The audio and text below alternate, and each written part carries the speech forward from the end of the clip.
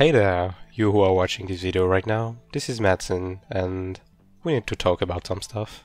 Now first of all I would recommend you actually minimize this video and get going with what you have to do in game, stuff like Rift of Oblivion, bashing mobs, crafting, whatever, because this is mostly going to be rambling videos. There will be some visual here and there, but even if you don't see them, it doesn't really matter.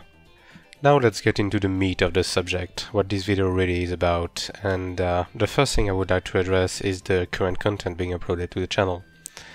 So, as you may or may not have noticed, I am currently on a hiatus of the open map PvP highlight, and there is actually a good reason for that. And that's the fact that ever since 5.3 hit in general, um, the maps are extremely empty and it's becoming harder and harder to find people to actually kill and get record like decent records with. And I don't want to just upload some random crap of me beating up on a bunch of rank 1 low geared people.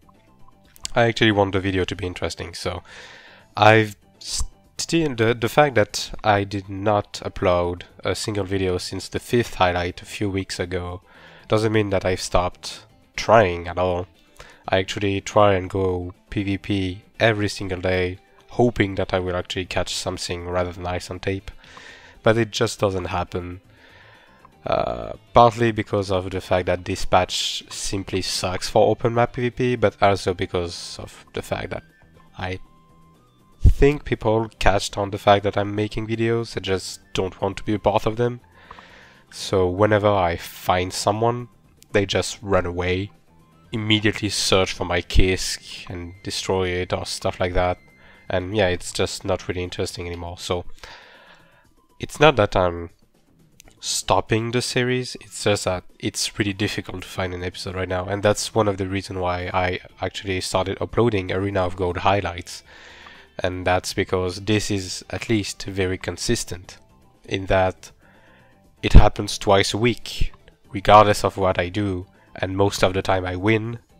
So, yeah, that's literally free content being handed to me, and I can just paste the formula I've been uh, applying on the open map PvP highlights. So, yeah, I'm not stopping the open map PvP highlights, but it's not the easiest thing ever to record as of now.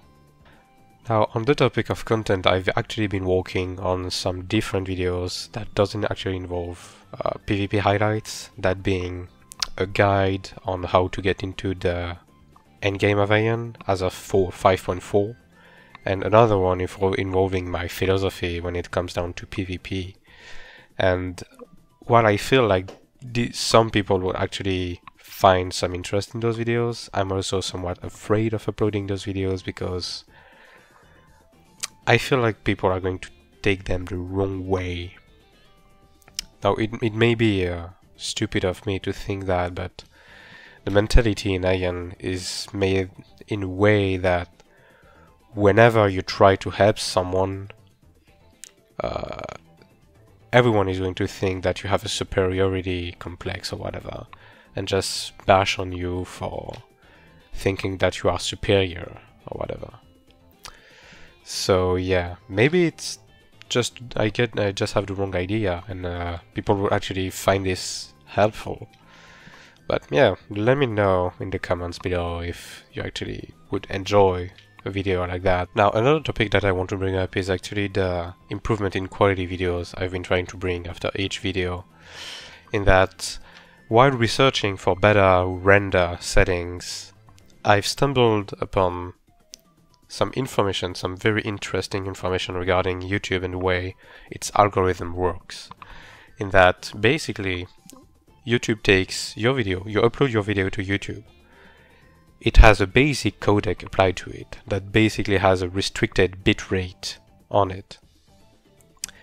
And if your video gets enough views, likes, and comments relative to the rest of your channel, YouTube will apply a better and improved codec on this video which will allow for a better bitrate. So what this means is that basically when you first upload a video, the quality, even in 1080p, is going to look like rubbish. And you can't help that. It doesn't, like, of course, your render, set, your render settings may actually be at fault, but even if it is not, then you can't do anything about that. The only way your video will actually have its true quality shown is if people give enough positive uh, feedback on it.